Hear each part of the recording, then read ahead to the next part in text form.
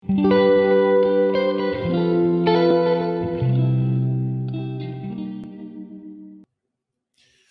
right, we are joined today by H.G. Tudor. How are you doing? I'm very well, Eric. I'm very well indeed. Thank you for inviting me along today. Well, you know what? Thanks for coming. And you've actually been on my radar for a while. Okay. Um, my channel really is a, a lot about behavior.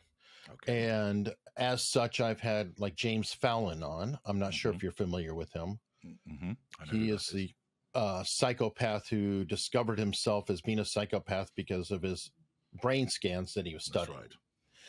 And obviously, I'm interested in narcissism, body language, things like that. And Mhm. you're out as a narcissist now. Is it only that, or narcissist and sociopath slash psychopath? I'm described as a narcissistic psychopath. So I have a diagnosis of narcissistic personality disorder and Mhm. antisocial personality disorder, which in other parlance is described as psychopath. Okay, isn't that redundant? Because from what I understand, every psychopath is a narcissist, but not every narcissist is a soci- socio or psychopath. Well, every psychopath will have narcissistic traits, hmm but may not cross the threshold to be described as a narcissist. So if Mm. you're a narcissist, you have NPD, so you cross that threshold. Everybody has narcissistic traits. You have them. Of course, I do. So I'm on YouTube. So exactly. so you have a degree of you, you have a degree of vanity and pride and selfishness and so forth. But they'll invariably be kept in check by your empathic traits of compassion and caring and being a truth seeker and having a moral compass. Now I don't have any of those empathic traits. So I cross the threshold for narcissistic personality disorder and also antisocial personality disorder. Some people are subclinical. So I would describe them as narcissistic, which means they have some limited emotional empathy, but their narcissistic traits are strong and they've got limited empathic traits. And then you have normal people who have considerable emotional empathy for a, for a small circle of people, their family, their friends, some colleagues. Mhm. They have a mix of both empathic and narcissistic traits, but not that strong. Then you have the empath group. They have a wide range of emotional empathy for a wide range of people, and they can have weak narcissistic traits and strong empathic ones, or strong narcissistic traits and even stronger empathic traits, or moderately strong empathic traits and moderate narcissistic traits. The point is their empathic traits are always stronger than their narcissistic ones, which governs their behavior in an unconscious way. So they don't, for instance, just walk into people's houses and invited and so forth. And so they're regulated by that emotional empathy. Okay, interesting. And that that brings up some other points, and I love to sidetrack because this is just interesting to me. Mhm. And that is, there's empathy and sympathy, and that empathy can be crippling to a decision maker. So sometimes it is actually of benefit to have one who lacks empathy, but can intellectually understand or make decisions that are quote for the greater good because Absolutely. they lack the empathy. I, I entirely agree with that approach. And interestingly, uh, prior to this, I was speaking to somebody else, and that, that very point uh, uh, came up. Uh, sort of the adopting a utilitarian approach, the greatest good for the greatest number of people, and that you're not held back by uh, emotional empathy and having an emotional decision making uh, process. So, a simple example of that might be that you're running a business and, and you see that Hank is underperforming.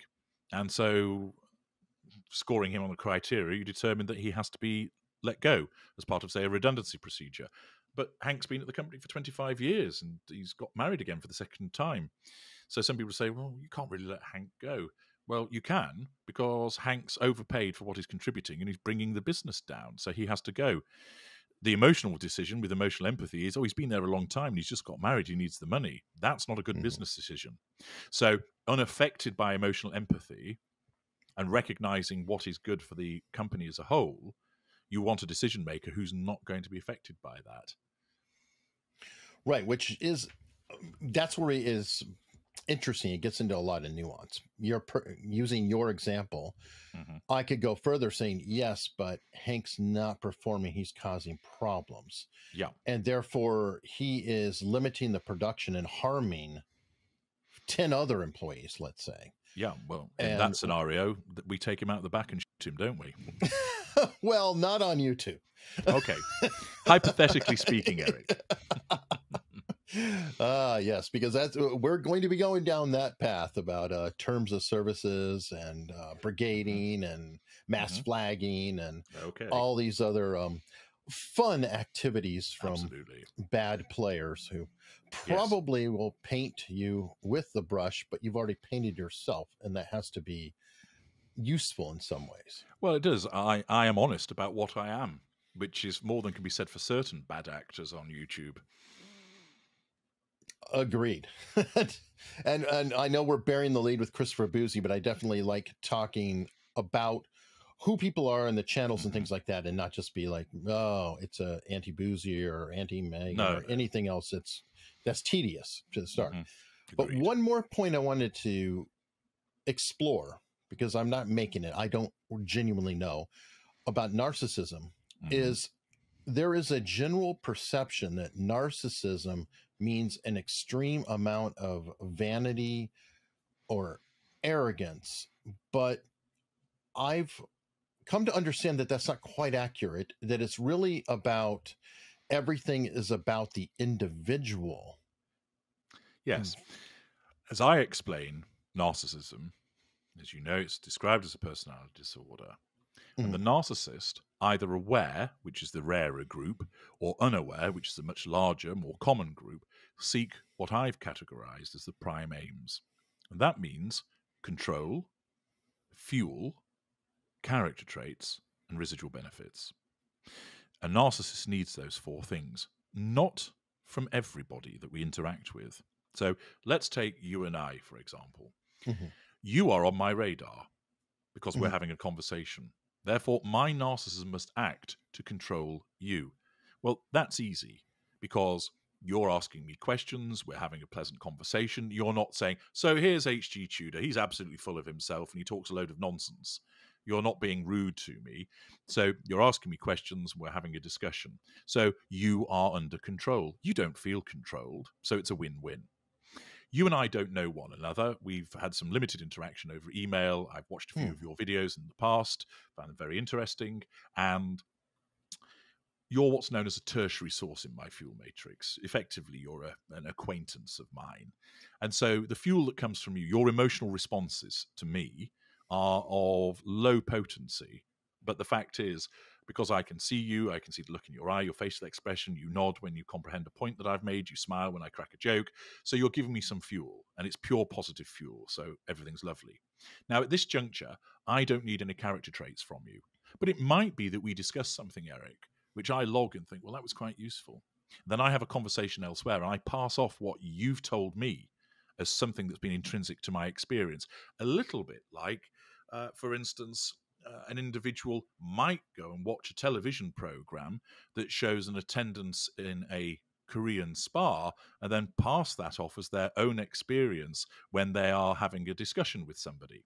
Okay, that's character trait acquisition. Another example might be let's say this morning my friend flew in from Rome, and although I've been to Rome many times, let's assume I haven't, and he tells me about how he had a great time throwing a coin into the Trevi fountain and he had his picture taken on the Spanish steps and he went to the Colosseum. And then I chat to somebody else and I say, Yes, had a great time in Rome recently.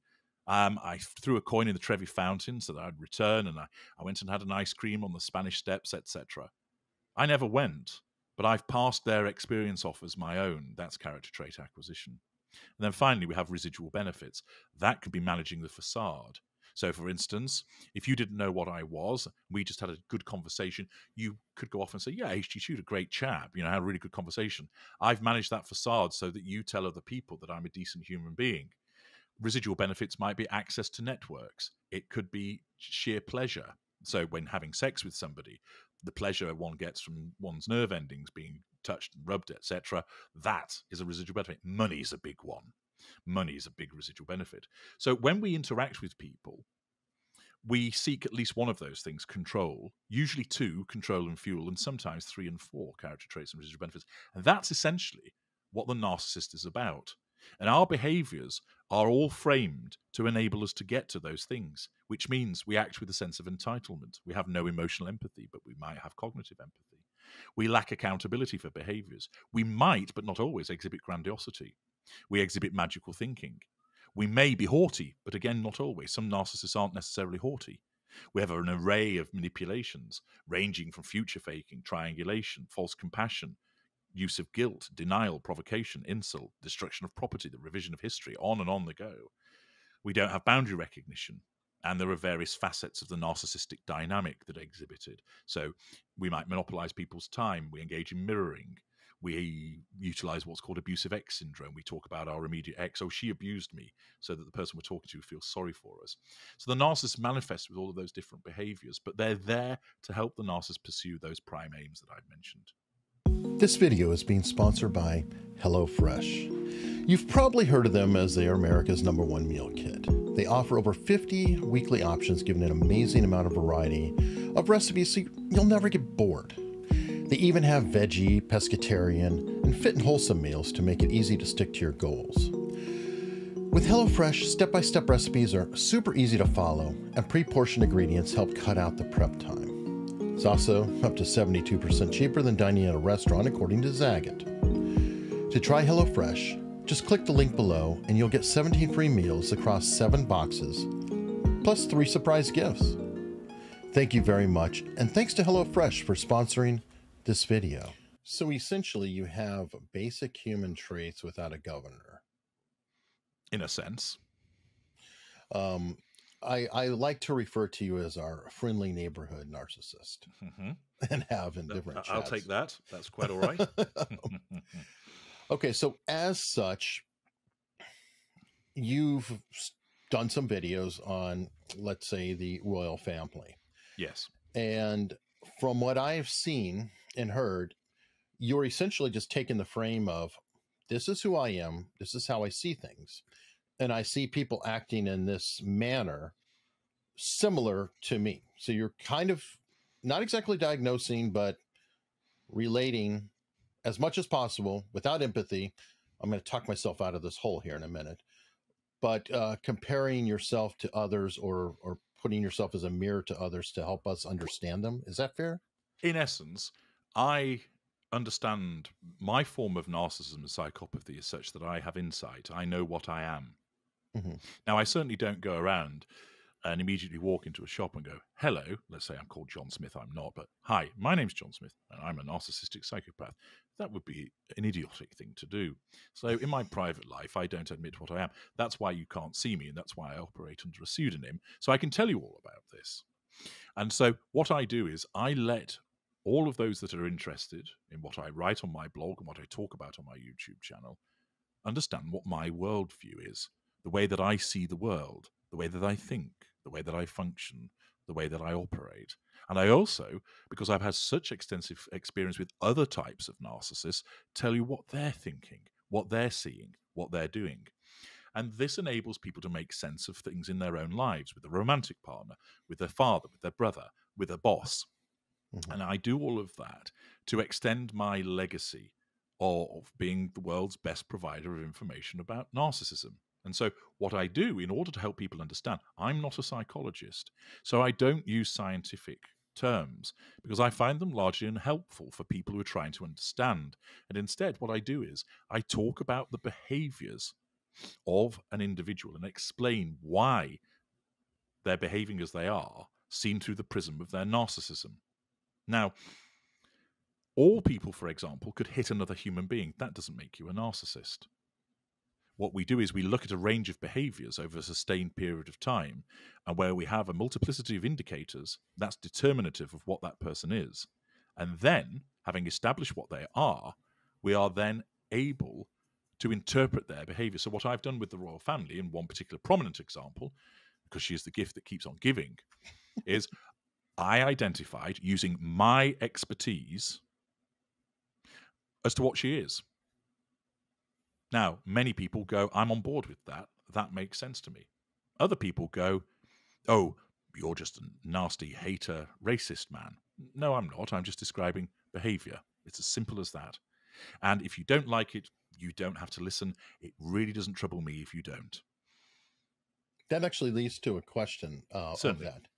When you're um, describing what you are uh, for people, yes. but you're you don't have empathy. So it, it's an interesting scenario. are you in fact doing it for the grandiosity of being the number one guy who's dispelling the information on it versus the benefit of helping other people and getting any kind of joy or fulfillment out of that? I do it because I need control. And the biggest threat to my control is death. Mm. Because at some point, I will shuffle off this mortal coil.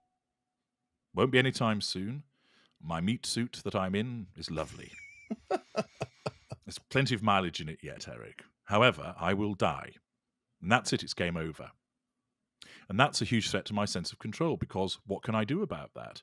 Sure, I exercise, I eat well, I don't smoke, I drink, but I'm not an alcoholic.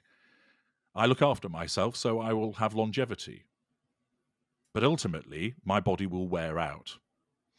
Assuming that I'm not killed in an accident or uh, an act of warfare or such like, I'll live on to a certain age and then I'll pass away. But that's going to happen.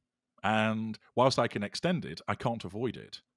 So, what I can do, however, is deal with that risk to control by knowing that at the point the Grim Reaper appears with his adamantine scythe and says, That's it, Tudor, it's over for you. I know at that point that my legacy will live on because of my videos, my books. There'll be millions of people that have accessed my work and will still talk about me once I've gone. And who knows, by that stage, there might be Tudor academies set up. That's something I've been in discussions with venture capitalists about.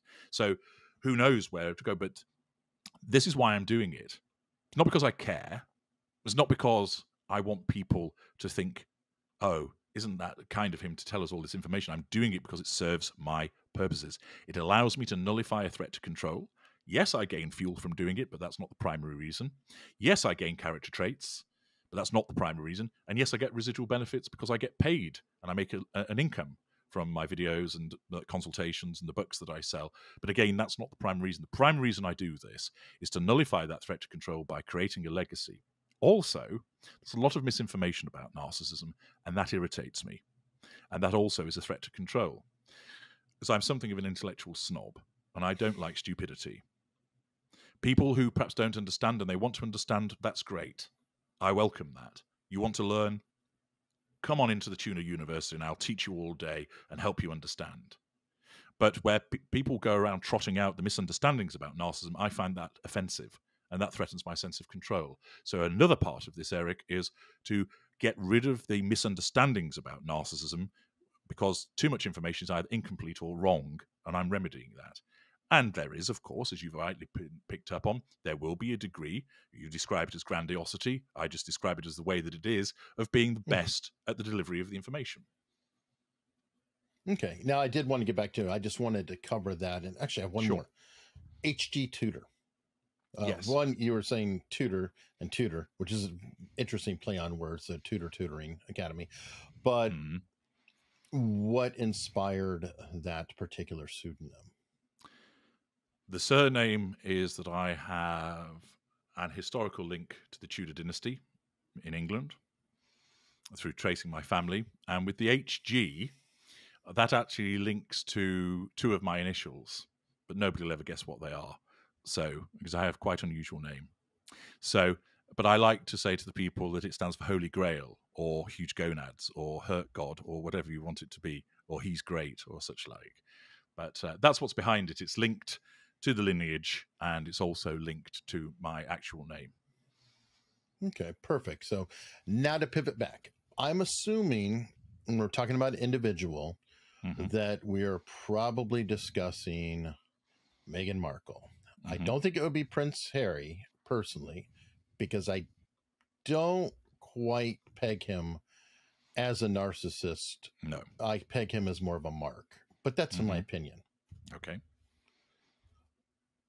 Are, am I correct? We are speaking of Meghan Markle, and can you Mhm. describe what you see and Okay. So I was probably amongst the first to describe her as being a narcissist. And I did so after extensively utilizing a range of information, some of which is in the public domain, some of which was private to me, and based upon my own experiences also. And so that range of material, I am not quick to label somebody as a narcissist one has to look at all of the available evidence and material. And anybody who has listened to my evaluations on my channel will know, possibly they might even sometimes say, gosh, he goes on a bit. But it's a rigorous process of assessment. And I looked at all of that and formed the view that she is a narcissist. And then I did a video, probably uh, around about four years ago, just over four years ago, about when she was about to get married. Now, I'd already formed the view some time before that that she was a narcissist, but I did the video. Uh, it was called A Very Royal Narcissist Part 1. And that got a lot of interest. And then I didn't do anything more about it. And I carried on doing all of the other work on my channel, my consultations, and everything else in my private life. And then I did a follow up to it. And then I did another one. And then it became apparent that not only uh, is she an excellent teaching tool, because one, lots of people have an interest in her for a variety of different reasons, mm-hmm. but two, you just can't avoid her for two reasons. One, because of her narcissism, she has to assert control over the populace by repeatedly appearing either on television in the broadcast news, or more commonly in what I call PR puff pieces, which have been paid for in the likes of certain magazines, both online and in physical print.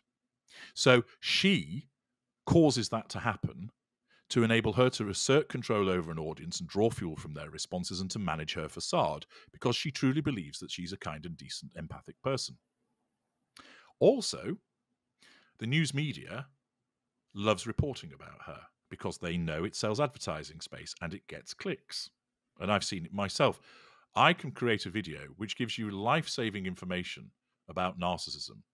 And it gets maybe the first 48 hours, eight, 10,000 views. I can then do mm-hmm. something about Harry's wife and it suddenly racks up 60,000 views. And it shows the level of interest that exists. True. So it would it behooves me to utilize something that people are interested in so that one, I can teach them about narcissism because that's what my channel is about. It's not about bashing Harry's wife. I actually find her tedious and boring, but she's a very good teaching tool because of her need to be in the news and because the news likes to portray her. So she is spoken about a lot. We have, of course, vast tracts of the internet that are given over to debating the things that she does. My particular corner of the internet is about her narcissism. With other people, it's just generally she's a horrible person. Other people, I love what she wears. Where do we buy those clothes? Other people uh, supportive of her. Other people just think, you know, they have their theories about where the children exist and so on and so forth. And people are allowed to express those opinions, both pro and con, in relation to her. True. So that obviously has put you on the radar mm-hmm. of, um, shall we say, people who are fans mm-hmm. of Meghan Markle. Mm-hmm. And what has come out of that? One of these specifically, I don't know if I would call him a fan of hers or an opportunist. Mm. And that's Christopher Bouzy. Mm-hmm. Okay, well, let me start with the Sussex squad. Occasionally, one will one or two wander onto my channel. And they stand a mile out because like some particular uh, bird they have a particular call which will be you don't know her or leave her alone or you're just a hating racist colonial imperialist Actually, they probably don't say that one. There's too many long words in it. So it's just basically you're a hater and you're a racist. So they stand out a mile, and invariably their standard of English is poor. And I either ignore them, which is my way of nullifying that threat to control posed by their accusation, or I simply set them straight by saying, You say that I'm a racist. This is a channel about narcissism. Let me detail for you the people that I have examined. Donald Trump, Shane Dawson, Alec Baldwin, Hilaria Baldwin, Taylor Swift, Amber Heard, um, Kevin Spacey, Harvey Weinstein, Brian Laundrie, Chris Watts, and I list them all, Derek Jackson, so on and so forth. And I say, Do you notice anything about that list? The bulk of them are white and male. So now explain to me how a channel about narcissism is one where I'm being racist. I never, ever get a response from them. And the reason for that is, and I don't expect one either. When I give that answer, it's not for their benefit, it's to mm-hmm. other people looking. And I don't get an answer because they either are a bot and therefore it does not compute, or it's beyond their comprehension to enter into a constructive discussion with me about it and they just run away. There we are. They are entitled to express their opinion, of course they are, but it's not a very well formed one, as I've just demonstrated. So occasionally they wander in, and they're not particularly persistent, and then they wander away. They may well mutter and uh, grind their teeth and moan about me elsewhere. I don't know. I've got better things to do than be looking around on the internet for what they're up to. But those are the ones that directly come across my path. They never email me to lambast me. It's just occasionally a comment on YouTube. They don't appear on my blog. I suspect that's because reading is too difficult for many of them, and instead it's just easier to listen to what's being said. They clearly don't listen very well because they invariably write things which are at odds with what I've said. So what they do is they basically see that I'm talking about Harry's wife, and therefore they assume that it's uh, not complimentary, and therefore they make the great big leap of logic that that makes me a racist when it's not. I've explained many times before, Eric. I don't have any prejudices. I hate everybody equally. That's the way that I am. So that's the Sussex squad. Now, about Mr. Bouzy. I believe that I came upon his radar as a consequence of another YouTuber putting a screenshot up on her channel, and Schoolgirl Error left various tabs open on the screenshot, one of which was my blog or YouTube site. And Bouzy, scrutinizing that, saw who's this H.G. Tudor? And then, again, because I've no interest in seeing what he has to write about me, other people, my valuable viewers, told me there's this Bouzy character uh, making uh, various comments about you, HG. You're on its radar. Watch out. Okay. And basically, he was saying that he was going to unmask me. Well, good luck with that, uh, because you won't find anything. And what you do find are just proxies. Uh, I protect my identity.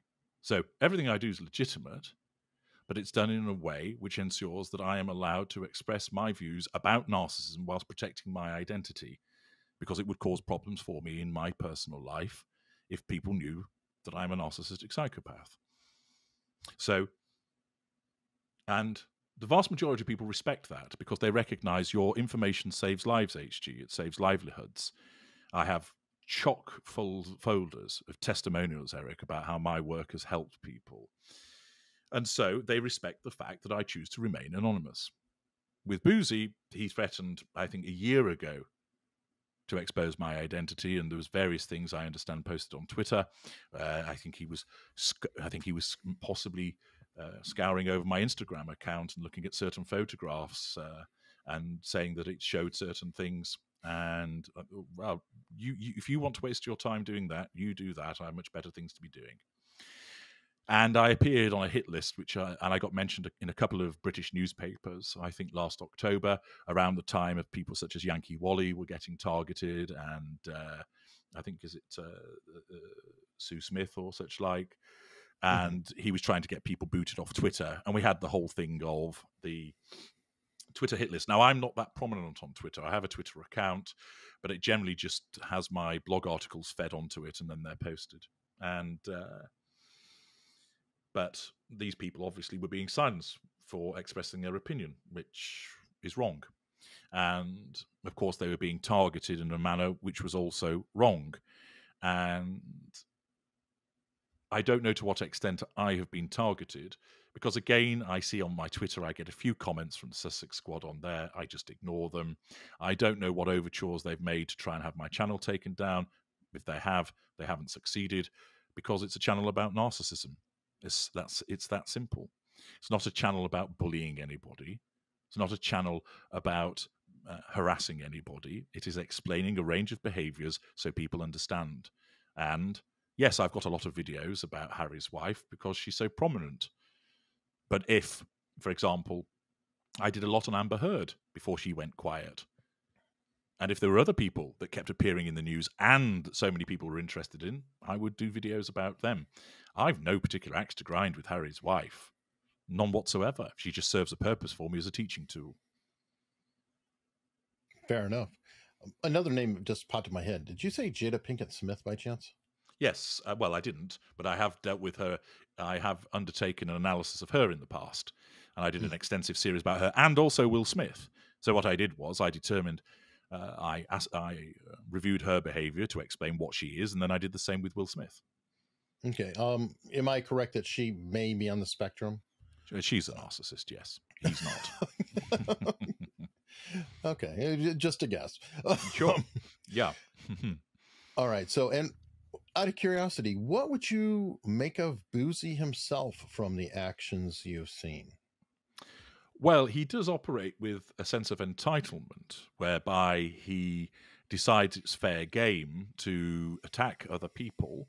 And hmm. um, from what I have seen from material that's provided to me by other people, uh, that often there's a disconnect between what he is saying and what the evidence shows. He also demonstrates lack of boundary recognition at times because, for instance, he has doxed people where it was unnecessary to do so. He scurries around looking for information about people, and I understand in some instances does so erroneously. So he claim, makes claims about certain people, and the information is wrong. And I know I follow to an extent, obviously Nate's situation. Oh yeah, with him. So, and I know you've spoken at length with Nate. I I uh, watched your uh, discussion and interview together. So he shows a lack of accountability for his behaviors because what he does is he engages in the very behavior that he criticizes other people for, namely going around th- throwing mud at other individuals. And he accuses other people of doing that. And it would appear that there's an absence of emotional empathy in much of his behavior because he, he, makes a determination in his world as to what is acceptable or unacceptable behavior and then makes it a personal crusade to get people, in effect, cancelled at his say so. And uh, last time I looked, I didn't see that the universe had de- decided that Christopher Bouzy was the grand arbiter of taste, morals, or decision making. Or brains. I'm sorry. Oh, well, That's there is mine. that also, indeed. but so there are many behaviors which one would say are questionable with regard to the way that he has conducted himself. He, of course, deems that he's on a form of moral crusade. And in his world, he honestly believes that. And it seems to me that he lacks insight into determining evidence from the other side. And he molds things to fit his narrative without necessarily having due regard to what all the evidence actually states. And of course, gets involved in these Twitter spats with people and has found himself, uh, you know, we saw the instance, as I understand, that he filed for bankruptcy to uh, avoid making a rent payment, if that, uh, mm-hmm. I understand that correctly. That could well be interpreted as an avoidance of accountability, failure to pay money that's owed. I also understand that there's a suggestion that there was a failure on his part to declare certain interesting companies at the point of the mm-hmm. declaration of bankruptcy, if I followed correctly what Nate has unearthed. Again, that would suggest a sense of entitlement, a lack of accountability, an absence of emotional empathy for the person who isn't going to get paid, who should have received a rent payment. So there are indicators of behavior there which are questionable. Interesting. I'd be curious, and you know, I'm obviously you're going to find whatever's interesting to you or whatever. Hmm. I see Christopher Bouzy as the pointy end of a much larger problem. Hmm. And that is the people who use his information. By that, and I will name Taylor Lorenz, Kat Tenbarge, the Rolling, or sorry, Rolling Stone magazine, mm-hmm. etc. I'm curious and this would be just you know for your own self-preservation etc because they are we'll call it old media attacking new media mm-hmm. that's kind of what a lot of this is have you looked into some of these people like taylor lorenz who's a great example of a cry bully who comes from a very elite background and manipulates stories and people in a manner that would make Chris Bouzy proud. that's not a name I'm familiar with, but I've just made a note. Nevertheless, it's piqued my interest to take a look. Um, many people contact me, Eric, and say, "Will you look at this person? Will you look at Sure, that sure. person?" And there's only I'm an army of one in that regard, Mhm. and I have other things that I must attend to. I could spend all day doing analyses of famous and infamous people, and I'm pleased that people are interested. Um, basically, there are situations where what can happen is that an individual who um, is, say, a narcissist can engage the services of somebody else effectively as a hired gun. And so for I call them lieutenants. So I have lieutenants that essentially are utilized to do my bidding. Now, sometimes they will do bidding because there might be an adverse consequence if they don't, or there's an inducement or a reward. And mm-hmm. so, and that's commonly the case that money is utilized so that the lieutenant is on the receipt of that reward. So they will go and do certain things for that governing power, who invariably is a narcissist because they're operating in a way that is absent of accountability. They are asserting control, nullifying threats to control, and so forth. And so there are instances where individuals will essentially get that hired gun. And of course, this has always gone on. It's done in the politics game, it's done by businesses, you know, Mhm. it's done by those that argue for climate change and those that say that climate change is a myth.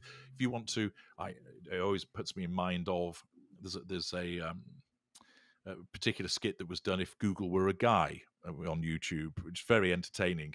And there's one where basically he sits. He's an actor who. He's appeared in a number of things, but he's in this YouTube video. I think it's College Humor that does them. But he Hmm. sits there, and everybody comes in as if they were typing it into Google. And this lady basically says um, the MMR jab causes autism, and he says, "Well, I've got a thousand results that say no and one that says yes." And she takes the one that says yes, and she says, "I knew it." and basically, if you want to go and find somebody that will support your point of view, either because you terrify them into doing it, or you promise a reward, or you pay them to do it, you can go and find that attack dog anywhere you like. And of course, we see this, that has always gone on in terms of find that sympathetic research company, find that PR outfit that will massage things. But now with the with the internet and the new media, it becomes uh, something that's done faster and is done more regularly by certain individuals in order to silence certain groups of people and promote others. Very true. And I'm, I guess, conspiracy minded, but I just see a definitive parallel here of old media versus new media that channels such as yours, even to a small degree mine, and others are directly threatening because we the only thing you mentioned before, you're going to die. Mhm. One thing you can't control is time. And if people are not spending time on your content, they're spending it somewhere else, Mhm. this becomes critical. So the person I mentioned, Taylor Lorenz, as Mhm. an example, went after a TikTok manager okay. with the assistance of her um, book agent, as in writing a book. Mhm. That agent is an old school. I don't know if it was William Morris or somebody like that, but it was an old school agency in Hollywood. Yes. How big is, is TikTok in terms of threats to Hollywood? Huge. Mm-hmm. So you have this where you have an old term agency going after an agent of new up and coming talent in a new forum that's pulling attention away through a book deal, which is again old media publishing world, with the reporter Taylor Lorenz at that time at the New York Times, the Gray Lady, old Mhm. media again. Now she's at the Washington Post. hmm And I do think that there's just a little more here than this person's an ass. hmm There's a You may you may well be right. I haven't seen the evidence, so I can't comment one way or the other. But as a an observation that people uh, might be puppeteering other individuals to do their will, well, of course that happens. Okay, well, perfect. And I hope you check it out. But to close this out, I have one more question. Certainly. What question should I have asked that I neglected to?